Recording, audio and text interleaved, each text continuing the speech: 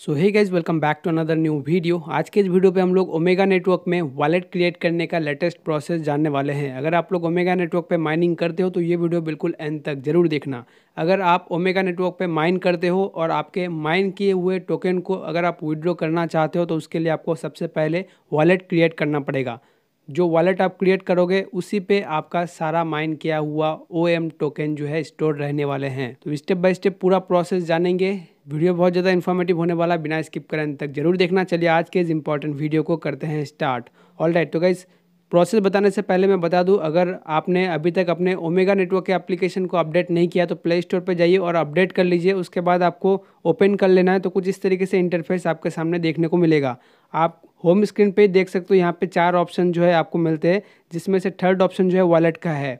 आपको simply wallet पे click कर लेना है। उसके बाद ऊपर आपको ओमेगा चेन या ओमेगा वॉलेट का ऑप्शन मिलेगा, उस पर आपको क्लिक करना है। क्लिक करते देखोगे यहाँ पे तीन ऑप्शन है, एक ओमेगा वॉलेट एक ओमेगा चेन और एक स्मार्ट चेन आपको सिंपली ओमेगा चेन पे क्लिक कर देना है तो कुछ ऐसा पेज आ जाएगा। यहाँ से जो है वॉलेट क्रिएट करने का प्रोसेस स्टार्ट हो जाएगा। जैसे ही आप क्रिएट ए न्यू वॉलेट पे क्लिक करोगे तो हम simply create a new wallet पे क्लिक कर देते हैं। उसके बाद यहाँ पे देखोगे तो ट्वेल्व वर्ड्स का जो है आपको यहाँ पे एक पास फ्रेस मिलता है। ये पास फ्रेज बहुत ज़्यादा इंपॉर्टेंट है। बिल्कुल सेफ़ जगह पे आपको इसको सेव करके रखना है और उसको अपने कॉपी पे भी इसको लिख के रखना है। क्योंकि यही पास फ्रेज जो है आपका वॉलेट का एक्सेस की होता है। इसी से आप अपने वॉलेट को भी एक्सेस कर पाओगे। अगर ये पास फ्रेज आप भूल जाते हो तो किसी भी हालत पे आप अपने पास फ्रेज को रिकवर नहीं कर पाओगे। तो बिल्कुल ध्यान से और अच्छे तरीके से इसको आपको जो है सेव करके रखना है। कॉपी पे क्लिक करोगे तो स्टेप बाय स्टेप जो ये कॉपी हो जाएगा, उसके बाद आप नोट पैड पे भी इसको पेस्ट करके रख सकते हो। तो हम बेसिकली इसको पहले नोट पैड पे पेस्ट कर लेते हैं ऑल्सो स्क्रीन शॉट लेके भी रख देते हैं। ओके okay गाइज़ तो हमने इसको कॉपी पेस्ट करके भी रख लिया है। ऑल्सो दूसरे एक फ़ोन से हमने जो इसका फ़ोटो भी क्लिक करके रख दिया है, ठीक है? अभी आपको क्या करना है? I have written it down पे क्लिक कर देना है।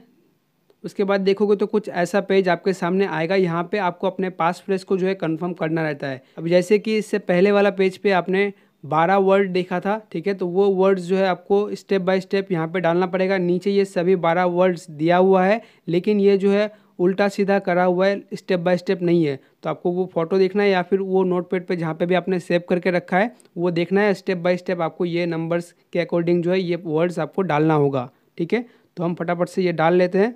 तो देख सकते हो हमने यहाँ पे बारह वर्ड्स जो है स्टेप बाय स्टेप डाल दिया है। आपको भी सेम टू सेम जो आपको मिले हैं, वो स्टेप बाय स्टेप डालना है, ठीक है? अगर गलती करते हो तो यहाँ पे आपका वॉलेट कंफर्म नहीं होगा। स्टेप बाय स्टेप डालने के बाद आपको जो यहाँ पे कंटिन्यू पे क्लिक कर देना है, उसके बाद एक पासवर्ड आपको जो है यहाँ पे सेट करना पड़ेगा आपके वॉलेट के लिए। तो मैं एक पासवर्ड सेट कर देता हूँ। जो पासवर्ड आप सेट करोगे, वो फिर से आपको कन्फर्म करना पड़ेगा। यानी कि दोबारा वो पासवर्ड आपको डालना है।